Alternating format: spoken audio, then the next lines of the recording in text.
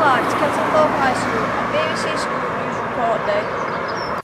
Welcome to Kettlethorpe High School BBC News Report. I'm Tate. And I'm Sam. First, we'll be po- reporting the GCSE changes which are happening next year.